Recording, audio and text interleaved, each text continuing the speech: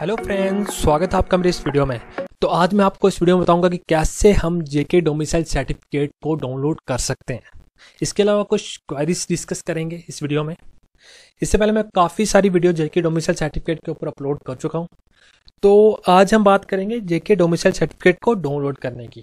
तो आपको सिंपली करना क्या होगा J K dot G O V dot in की जो ई सर्विसेज़ साइट है, वो ओपन करनी होगी। इसका लिंक मैं आपको वीडियो के डिस्क्रिप्शन में दे दूँगा। वहाँ से आप क्लिक करके यहाँ पे विज़िट कर सकते हैं। तो J K dot G O V dot in slash J K e services तो यहाँ पे आपको अपनी लॉगिन आईडी पासवर्ड एंटर करना होगा रोल में आपको सिटीजन एंटर करना होगा। ये कैप्चा कोड फिल करने के बाद सबमिट पे क्लिक कर देना होगा। मैं आपको बता दूँ।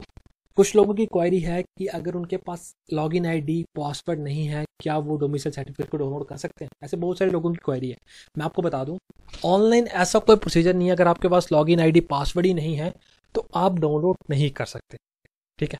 तो इसके लिए आपको तहसील में विज़िट करना होगा। अगर आपके पास एप्लीकेशन आईडी है तो वहाँ से मैं भी आपको प्रिंट आउट निकाल के दे दें। कंफर्म नहीं है। तो लेकिन ऑनलाइन आप प्रिंट नहीं कर सकते, यानी कि डाउनलोड नहीं कर सकते अगर आपके पास लॉगिन आईडी पासवर्ड नहीं, आप बोल चुके हैं, ठीक है? ये एक क्वायरी थी। तो नेक्स्ट क्वायरी ये थी कि एप्लीकेशन आईडी अगर आपके पास है तो ऑनलाइन डाउनलोड कर सकते हैं, आप नहीं कर सकते। सिर्फ़ एप्लीकेशन आईडी से आप डाउनलोड नहीं कर सकते। आपके पास लॉगिन आईडी पासवर्ड होना चाहिए। जैसे कि बहुत सारे लोग कहते हैं कि एप्लीकेशन आईडी है, हम किसी और की आईडी में लॉगिन करके डाउनलोड करेंगे तो वैसा नहीं है। आप सिर्फ़ अपनी आईडी लॉगिन करके ही अपने डोमिसाइल सर्टिफिकेट को डाउनलोड कर सकते हैं। तो मैं आपको बताऊँगा कैसे आप डाउनलोड कर सकते हैं। आपको सिंपली करना क्या होगा, यहाँ पे अपनी लॉगिन आईडी एंटर करनी होगी और पासवर्ड एंटर करना होगा।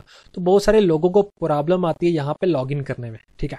मैं आपको बता दूँ लॉगिन आईडी अगर आपने कैपिटल लेटर में फिल की थी तो वही आपको यहाँ पे एंटर करनी होगी। आपको जो आपने फिल की थी, जो आपने क्रिएट की थी, वही आपको यहाँ पे सिंपली फिल करनी है, ठीक है? तो यहाँ पे मैं अपनी लॉगिन आईडी पासवर्ड एंटर कर दूँगा। तो जैसे कि मेरी आईडी सक्सेसफुली लॉगिन हो चुकी है तो आपको सिंपली करना क्या होगा? ई सर्विसेज़ आपको दिख रहा होगा। यहाँ पे भी दिख रहा है, नीचे भी दिख रहा है, आप किसी पे भी क्लिक कर सकते हैं। तो आपको सिंपली इस पर क्लिक कर देना होगा। इस पर क्लिक करने के बाद आपको स्क्रॉल डाउन नीचे करना होगा। यहाँ पे आपको दिख रहा होगा जनरल एडमिनिस्ट्रेशन डिपार्टमेंट। आपको सिंपली इस पर क्लिक करना है फ़र्स्ट टाइम, और यहाँ पे आपको डाउनलोड का ऑप्शन दिख रहा है। लेकिन डाउनलोड करने से पहले आपको simply application for domicile certificate पे क्लिक करना होगा, ठीक है? अगर आपके पास एप्लीकेशन आईडी है तो आपको सिंपली डाउनलोड पे क्लिक कर देना होगा। अगर आपके पास एप्लीकेशन आईडी आप बोल चुके हैं तो आपको सिंपली यहाँ से ये कॉपी करनी होगी।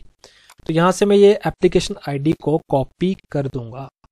यहाँ पे कॉपी करने के बाद आपको सिंपली करना क्या होगा? यहाँ पे डाउनलोड का ऑप्शन दिख रहा होगा, आपको सिंपली इस पर क्लिक कर देना होगा। इस पर क्लिक करने के बाद यहाँ पे आपको सिंपली सबसे पहले कैप्चा कोड यहाँ पे एंटर कर देना है, क्योंकि सबसे पहले कैप्चा कोड बोला गया है।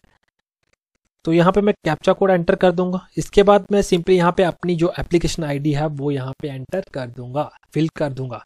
इसके अलावा यहाँ पे बहुत सारी इंस्ट्रक्शन दी गई है नीचे तो इसके रिलेटेड कोई भी मैंने वीडियो अपलोड कर चुका हूँ, कैसे आपको वेरीफाई करना है तो ये आपको ऊपर दिख रही होगी वीडियो आई बटन में। तो आप सिंपली वहाँ से वीडियो को देख के अपने जो भी सर्टिफिकेट है, उसको आप वेरीफाई कर सकते हैं। तो आपको सिंपली सबमिट पे क्लिक कर देना होगा। सबमिट पे क्लिक करने के बाद जो आपका डोमिसाइल सर्टिफिकेट होगा, वो डाउनलोड हो जाएगा। ये आप प्रोसीजर मोबाइल फ़ोन में भी कर सकते हैं पीसी में भी कर सकते हैं। मोबाइल फ़ोन के रिलेटेड मैंने वीडियो अपलोड कर दी है, वो भी आपको ऊपर दिख रही होगी। आप सिंपली वहाँ पे उसको देख सकते हैं। तो यहाँ पे आपको सिंपली इस डोमिसाइल सर्टिफिकेट को सेव कर देना होगा।